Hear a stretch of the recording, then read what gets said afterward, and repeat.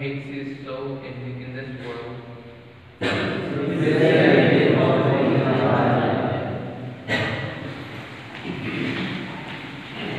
Blessed be the Lord, the God of Israel.